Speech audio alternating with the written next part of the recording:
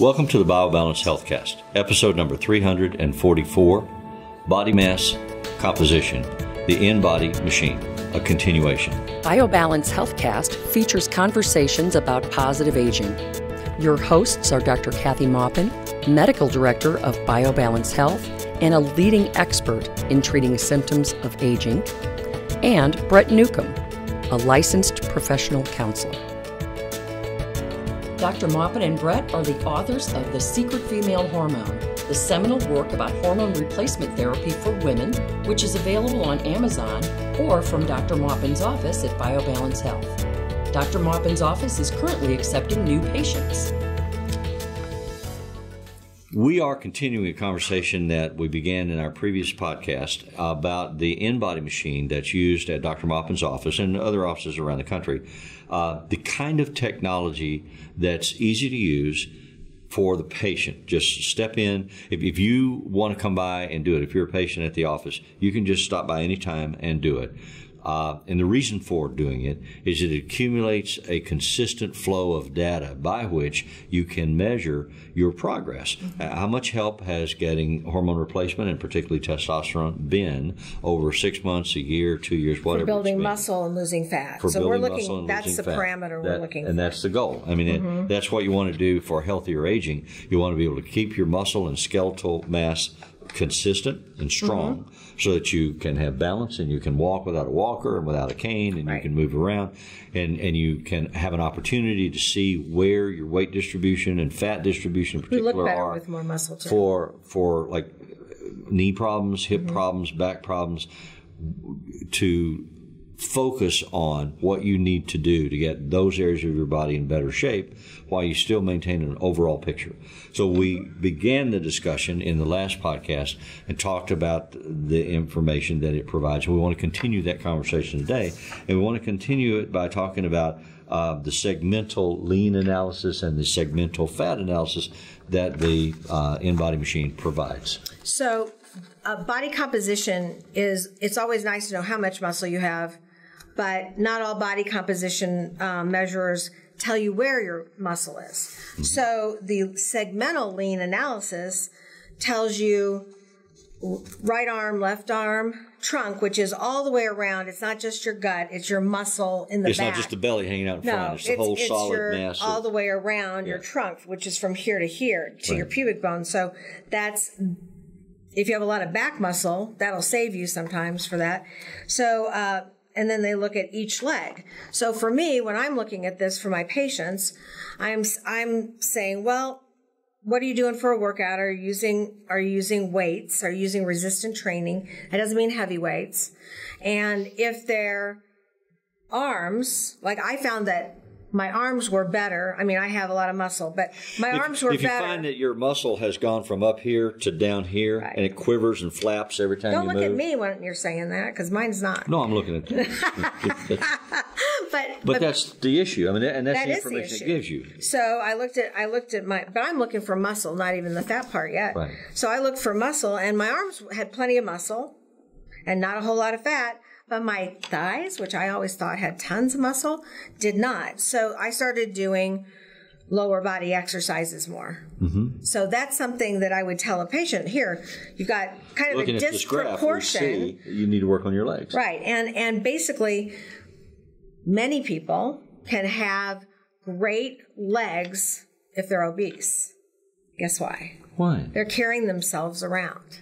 So they have, so if you've seen legs, the 350 yeah. pound guy with calves this big, mm-hmm. that's because he's carrying his body around. Mm-hmm. And he had to have the muscle just to move. Okay. But he doesn't have anything from here up. Mm-hmm. So that's one of those where you don't want to be fooled. You know, people go, oh, look at that muscle in my legs. That's great. Well, your body fat's really high and you don't have anything in your arms. So that's telling me that it isn't as good as you think it is and that you need a change. And so that helps me having a parameter I can put my finger on and say, this is what this means instead of just saying, I think you need to lose weight, which is what doctors usually say. Go home, lose weight, like we don't, but we have a program for it and we help you lose fat. It's like if you have a child and the child brings on a report card and it's got one good grade and five bad grades, and you say, son, let's talk about your report card. He only wants to talk about the class he's doing well in. Right. That's right. Yeah. Exactly. Exactly. Like, oh, so so when we're looking at lean lean um, analysis of Mm-hmm. each segment of our body, that tells us one thing, and then they also tell you segments of your body where your fat is, which is always fun. right. So they they have that same area, right arm, left arm, trunk, right leg, left leg, and then they tell you if you're above normal. Now here you don't want to be above normal For for fat. For fat. For muscle, For I don't care okay. how high you get above normal. That's good, you know, as long as you're doing it in a healthy way and you're not You're not hurting using yourself. anabolic steroids or. Yeah, we're giving testosterone, but we don't give anabolic steroids because Right. they're dangerous. So we, um, if you're coming to us, you're not using anabolic steroids. So in any case, on the segmental fat analysis, men have a different normal for fat than women because you guys don't have like, I mean, this is all gauged per male female because you guys don't have a lot of subcutaneous fat. We've got fat that's underneath our skin. Right. That's why men look more defined and we don't. So Right. that's estrogen that gives us the the uh, fat under our skin. So, So if I'm going through a transgender thing, Mm-hmm. then I change my hormone balances so that I start to look rounder and a little, but you know, your the catch there is your receptor sites yeah. Are still uh, male if you're ch- changing to female. So we have to shut them down. So we have to give you a lot of estrogen. Usually, men who are transgender have great legs and great arms, what we consider muscly, defined. They don't get that much fat Okay. on those areas. I mean, they're they're rock solid, beautiful, and we, we all the women kind of go, "Oh my god, I wish I could have get can- rid of all of this can I get there? subcutaneous fat," you know. Yeah. So, um, so in any case, that's it is estrogen that gives you that, but men don't have the receptor sites as as To much to do Right, it. right. So that's the catch in everything is receptor sites. So we we looked at Brett's, and really, I don't, you know, his arms are muscle. Right. Yeah. And he lifts weights. So I wouldn't think that he has very much fat. Now, this isn't It says I do, though. perfect. Yeah. This says that he has 3.1 pounds of fat on his arm, On each arm. on each arm. So it's incredible. They're both exactly the same, which is unusual. Yeah, and and I, I just have to wonder about that. Not everything's perfect in this, you know, but you know, I have because you have a lot of muscle there. However, um, Apparently, I also have a lot of fat. And you have some fat, but 3.1 pounds. I mean, that would be easy to lose if you could just lose it where you want to lose it. Uh, yeah, that's always the challenge. And that's what the iLipo's for. Uh, and, the tra- and the trade-off would be I would carry three pounds of weight in, in my arms gladly if I could lose it right here. Right. And that's where you carry most of your fat. And that's where most men carry their fat is in their belly. Mm-hmm. So you have 27 pounds there. So that's underneath your skin, but it's also inside your Well, 27 abdomen. pounds in here and, and around my back. And around your I have a really thick back. Back, fat back. Yeah. So we have um uh we used we called in surgery we called it the apron. It atta- there's this apron of fat, real, Mm-hmm. yellow, disgusting. I mean, I got so thin in medical school after I started dissecting because it was just so disgusting to see all I've actually this seen fat. that. Remember that that uh, display that traveled around the country uh, Yeah. with bodies Right. Mm-hmm. where they sliced them up and, and they had. I've seen what you're talking about with that apron of fat. Yeah, apron of fat Yellow, from- clabbery. yeah, it's gooey, Yeah. slimy. Um, but we all have some. Okay, so you need it. It's what protects your intestines Mm-hmm. from trauma. So you need some. You just don't need anything that thick of fat protecting your intestines. So, so there's always a reason we have these things, but then we go to excess Mm-hmm. and we end up having too much of a good thing. So here, that's where you really need to lose it. Honestly, your legs look great. You don't have any fat on your legs. You know, so you're Yeah. looking. I mean, you don't have. Well, it's any, 'cause I'm you're- carrying all this You're weight great. No, that's not what I said. I said more muscle, not less fat. Yeah.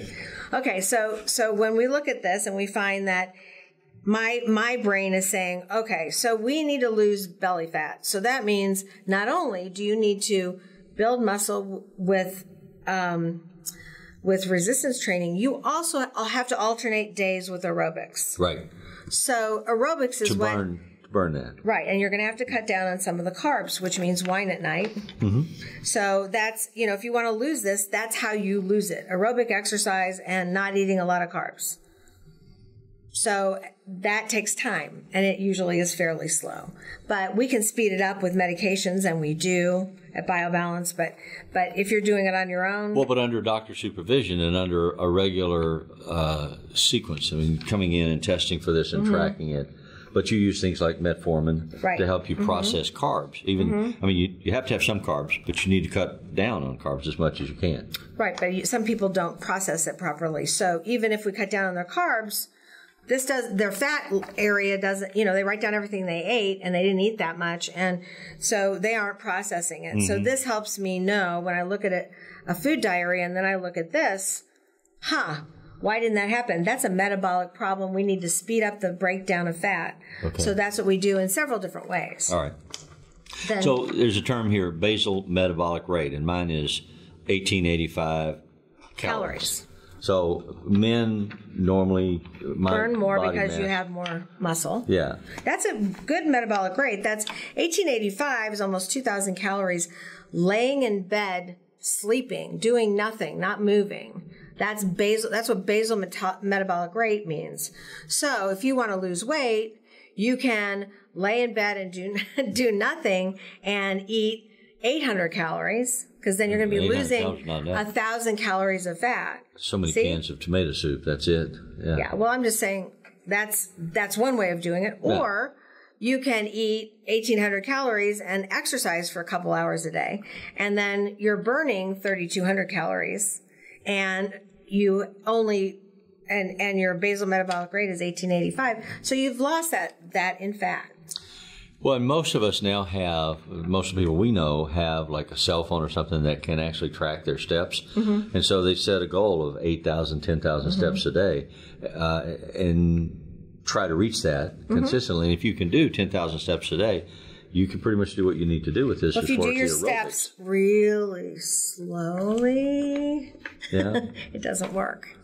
Well, I don't, Because do, you could do do anything ten slowly. thousand. I know you could do ten thousand steps just sauntering around the neighborhood and talking to your neighbors, which is very good for your social life, but is not very good for your burning fat. If you don't think you can walk fast enough, come over to my house, walk with my wife. Yeah, I have to jog to keep up with her, and her legs are the same length She's like one of these little British stalkers. She just goes. Yeah, she is. Yeah, even John, who's my husband's legs are really long, he has to kind of push it to follow up with her.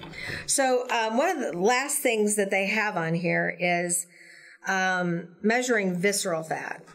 And that is? and that is the fat we just talked In your about viscera. in your viscera around your intestines Yeah. and it's that apron so Yeah. they separate that out from everything else because visceral fat is the most dangerous fat the fat that's o- under your skin on your arms or that wiggles at you isn't dangerous for your heart or for diabetes doesn't put you at risk but this apron is what puts you at risk for diabetes and for heart disease So this says in the fine print, maintain a visceral fat level of 10 or of under 10, and I'm sitting on 10. you're sitting right on 10 Yeah, so I got to lose a tenth of a percent to be healthy. You just need to lose a little. But, you know, it's whatever is good for you because this is going to make your waistline smaller if you lose if you lose that fat. Uh, that'd be all right. so that's so that's not a bad thing. So we've looked at all of his um, uh, parameters of body composition, and now I want to go back to the muscle fat analysis because that's how I what I look at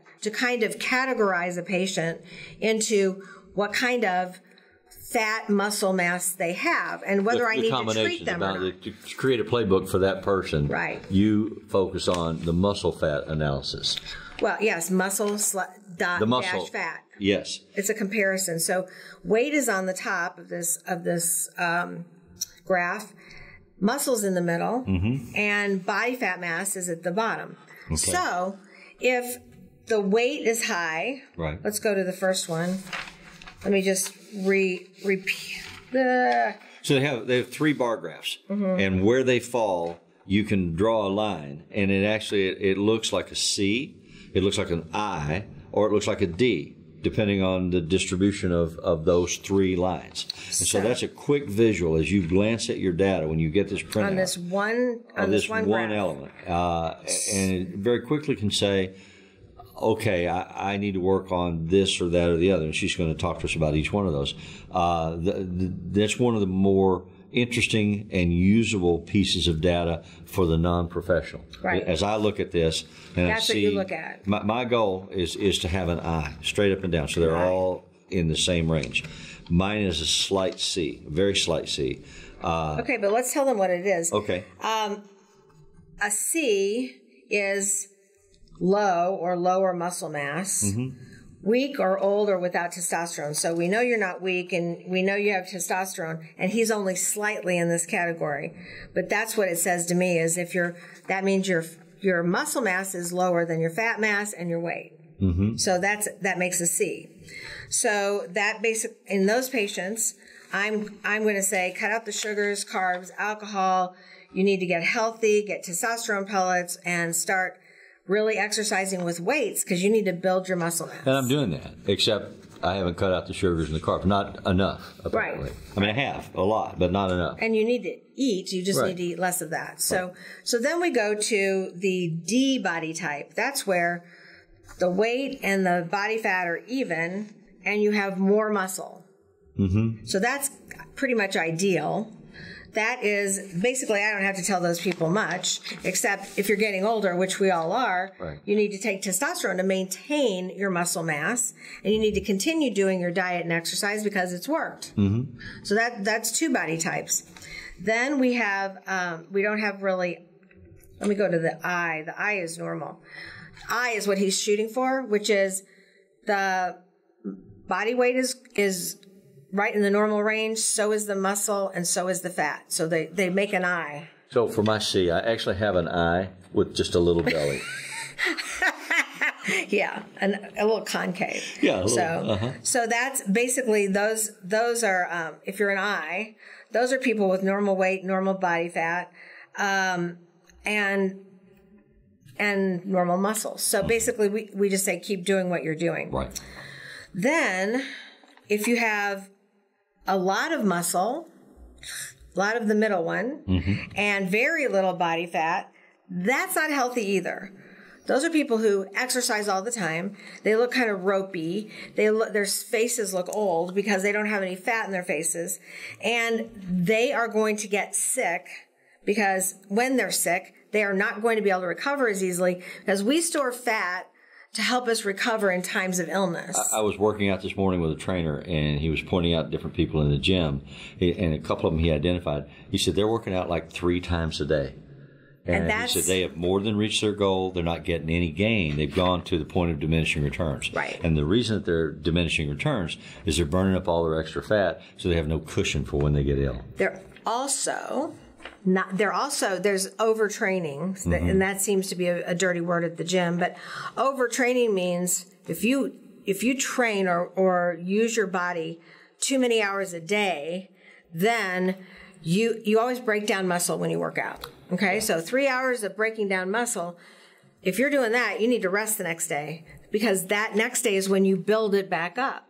Well, if you do three hours, three hours, three hours, three hours, you're never building your muscle back up. So some people even lose muscle by doing that. And I've had to mm-hmm. say, stop exercising so much. Do every other day. Right. Instead, or do your, if you have to one exercise, weights another. weights another, or Yeah. do the top part of your body one day and the bottom part of your body the next. But you have to have rest to build muscle, and then you have to eat plenty of protein. Yeah.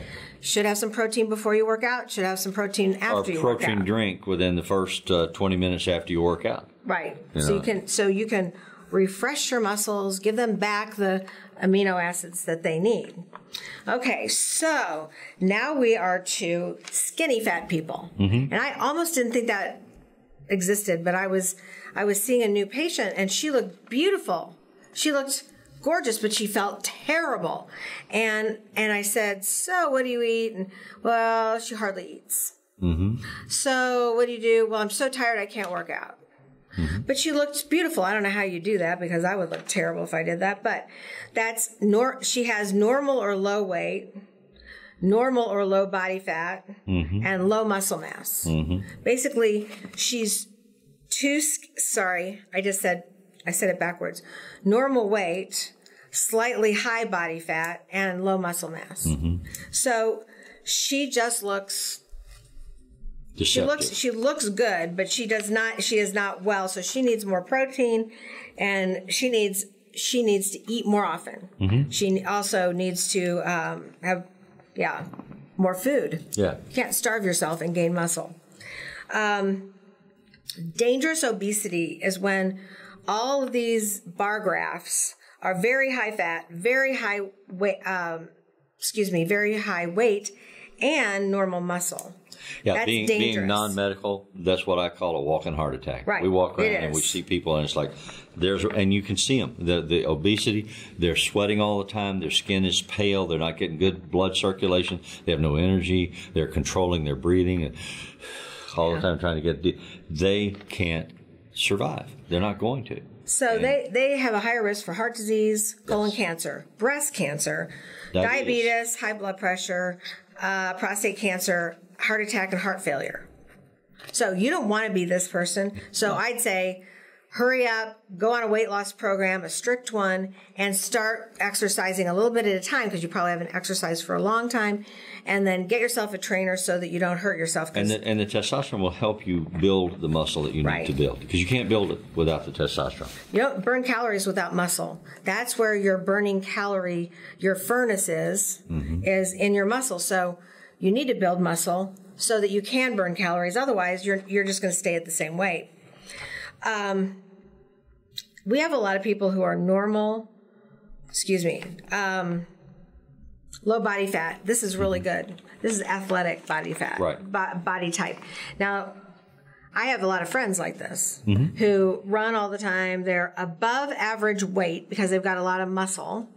They're above average muscle, but they have low body fat. Mm-hmm. That's athletes. Yeah. They exercise, they know how to exercise, they know how to stretch, they know how to eat before and after, they run marathons. I mean, that's a very healthy type of um, of a combination unless you get too low of the, uh, on fat. If you exercise too much, then that's a problem. And so we have to say, mm, slow down, take a day off or two days off a week. Um, high everything, which is, we talked about that. Chronic muscles, obesity versus uh, Yeah. dangerous obesity. Dangerous obesity. Yeah. This is chronic. So you have high muscle because you have to hold your body up. Mm-hmm. So you have a lot of muscle Yeah, in your amazingly strong. You see some heavy people that are amazingly strong, Right.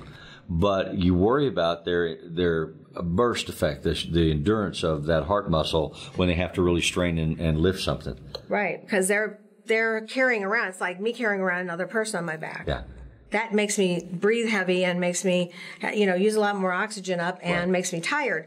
So um, if everything's high, even muscle, Mm. and usually muscle in the lower part of the body, not in the upper part of the body, then um, then you you it's as important for you to lose weight as it is for the um, dangerous obesity, but it isn't as critical that you do it fast. Right.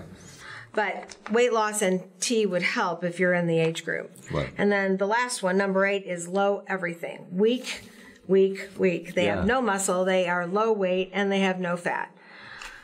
That And- is but they think they look good. Right. Because they're skinny. because they're anorexic. That's kind of the anorexic brain. Yeah. I don't eat anything, so I'm really skinny, so I have no fat. I don't exercise. I don't do, I mean, basically, they are just as sick as the chronic obesity. Right. And they, sometimes it's fatal. Yeah, it looks deceptive. Yeah, some people, you know, they, but they're very proud of themselves Yeah. that they're so skinny. But it's a psychiatric, psychological problem to look in the mirror and see your knees sticking out sideways and having no muscle and think that that's beautiful. Right. So that takes. Well, it's in treating those individuals with anorexia. One of the things you learn is they have a distorted body image. Mm-hmm. When they look in the mirror and they see a beau- beautifully svelte person, and me looking at them from the outside is looking at a concentration camp survivor. I mean, right, and- right. and they just don't see it. Uh, they don't, and they won't. They can't because their their brain chemistry's all screwed up. So you have to get their, you have to their do- weight. Take both. You have to actually Yeah. attack the brain and the view of they have of themselves first. Yeah. Because you can't get them to eat if Right. they don't No. view themselves as needing to eat.